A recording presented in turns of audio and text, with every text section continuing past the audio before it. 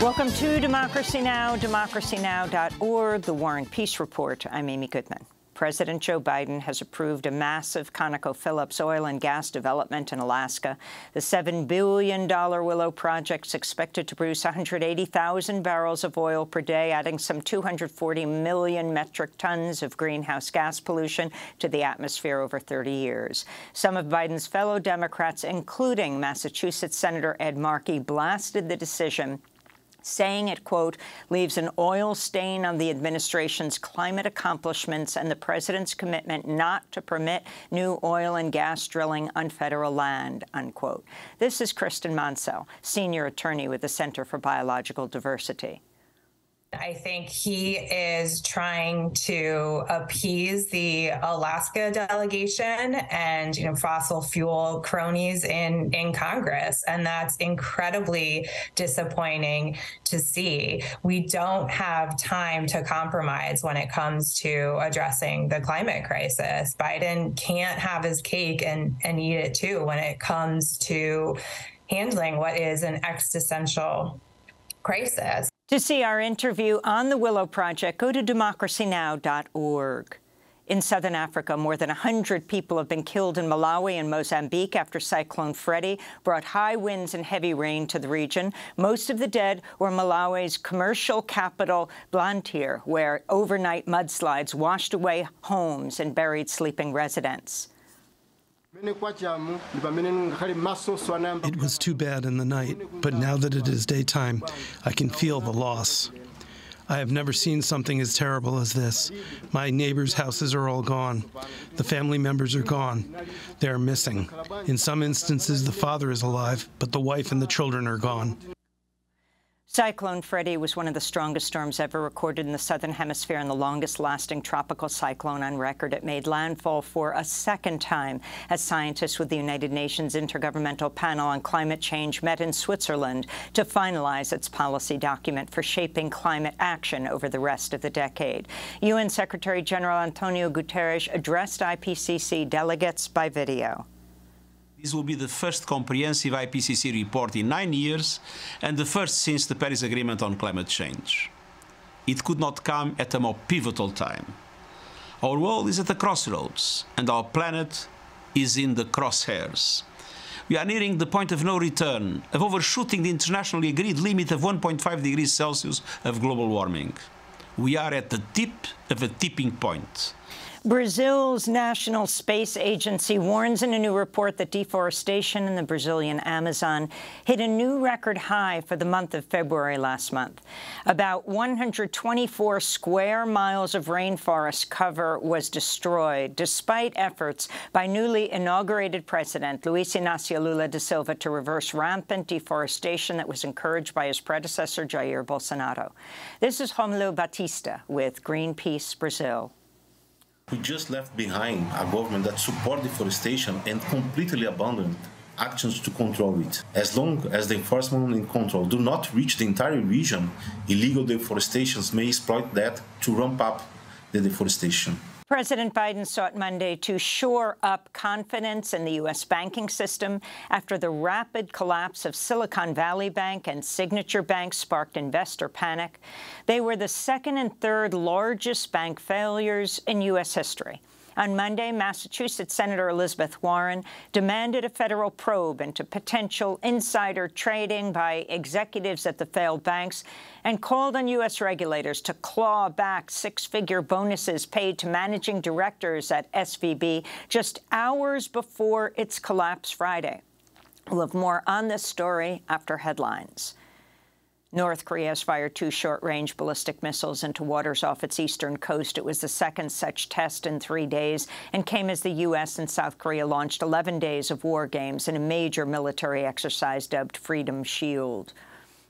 President Biden has formally unveiled plans to arm Australia with nuclear-powered submarines in a bid to counter China's influence in the Indo-Pacific. Biden announced the agreement alongside UK Prime Minister Rishi Sunak and Australian Prime Minister Anthony Albanese at a meeting in San Diego Monday. The deal will see Australia equipped with three conventionally armed Virginia-class nuclear-powered submarines by the 2030s, with an option to purchase two more subs as part of a new military alliance alliance called AUKUS.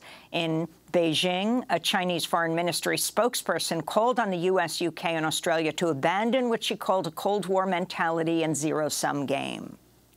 We believe that the cooperation among the three countries poses a serious nuclear proliferation risk, impacts the international nuclear non-proliferation system, stimulates the arms race, undermines peace and stability in the Asia-Pacific region, and is widely questioned and opposed by regional countries and the international community. Biden's meeting with leaders of the UK and Australia came as the Pentagon released its proposed $842 billion budget for fiscal year 2024, requesting $25 billion more than Congress approved last year. It will be the largest so-called peacetime budget in U.S. in U.S. history. A new study finds the United States remains the world's top arms trader. The Stockholm International Peace Research Institute, SIPRI, reported Monday the U.S. accounted for 40 percent of the world's weapons exports between 2018 and 2022, selling arms to more than 100 countries. India remains the world's top arms importer, followed by Saudi Arabia, which accounted for nearly 10 percent of the international arms trade. About 80 percent of Saudi weapons purchases come from the United States. The Biden administration's extending humanitarian relief for thousands of Ukrainian refugees who fled Russia's invasion and were processed along the Mexican border, allowing them to remain in the United States beyond the program's initial one-year limit. Similar relief for tens of thousands of Afghan refugees is scheduled to expire in the coming months, but it's unclear whether that relief will be extended, even as Afghanistan is facing a worsening humanitarian crisis following the Taliban's return to power in 2021. Advocates have accused President Biden of hypocrisy in his treatment of Ukrainians compared to most other asylum seekers and refugees. In Ciudad Juarez, Mexico, hundreds of asylum seekers, mostly from Venezuela, were blocked by barbed wire and riot police Sunday as they tried to cross into El Paso, Texas, to finally apply for relief. Some reported they were pepper sprayed. Many of the asylees have waited in Mexico for months, facing extremely dangerous living conditions. Please, we want an answer. The customs app does not work. I am alone. We are alone here. We have been robbed and extorted, and we have no answer. We just want to get in, to have a future, and help our families. Nothing else. In Honduras, President Xiomara Castro has legalized the use of emergency contraceptive medication, overturning a ban that was over a decade old. Castro's executive order was issued on International Women's Day last week. The pill was prohibited following the 2009 U.S.-backed military coup that put a right-wing authoritarian government in power. Abortion is still illegal in Honduras, including in cases of rape, carrying a sentence of up to six years in prison for the people who undergo the procedure as well as those who provide it. Here in the U.S., a group of Republicans in South Carolina's State House have proposed legislation to, making, to make getting an abortion punishable by the death penalty. The measure would amend the state's code of laws to grant zygotes, or fertilized eggs, quote, equal protection under the homicide laws of the state. The bill has gathered the support of nearly two dozen South Carolina House Republicans who now co-sponsor it. Meanwhile, in Texas, a man has filed a wrongful death lawsuit against three women he accuses of illegally assisting his ex-wife in having a medication abortion. Texas's abortion law allows private citizens to file civil suits against abortion providers or anyone who aids or abets an abortion after six weeks. In the United Kingdom, more than 36,000 junior doctors have launched a three-day strike over pay and working conditions at the government-run National Health Service. The walkout follows similar strikes in recent weeks by nurses and ambulance staff. This is Dr. Robert Laurenson of the British Medical Association, who joined picket lines in London Monday. So junior doctors over the last 15 years have lost 26.1% of their pay due to uh, inflation. And all we're asking for is for that pay to be restored because no junior doctor today is worth less than a junior doctor in 2008. Here in New York, a lawyer for Donald Trump says the former president will decline to appear before a grand jury investigating hush money payments made to adult film actor Stormy Daniels during the 2016 presidential campaign. On Monday, Trump's former personal attorney and fixer Michael Cohen spent hours testifying to a state grand jury in Manhattan. Cohen previously pleaded guilty to charges of tax evasion, bank fraud, and lying to Congress about the hush money payments, which he says Trump directed him to make. This is not revenge, right? What this is is about accountability. I don't want to see anyone, including Donald Trump, indicted, prosecuted, convicted, incarcerated, simply because I fundamentally disagree with them. This is all about accountability. He needs to be held accountable for his dirty deeds.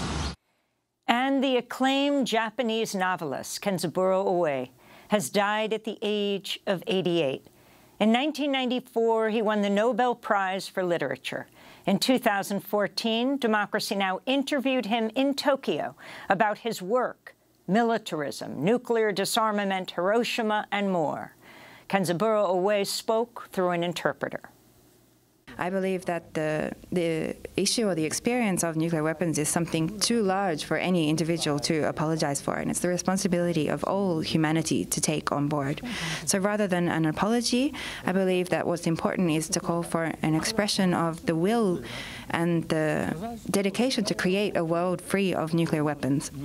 To see our interview with Kenzaburo Oe, go to democracynow.org. And those are some of the headlines. This is Democracy Now!, democracynow.org, the War and Peace Report.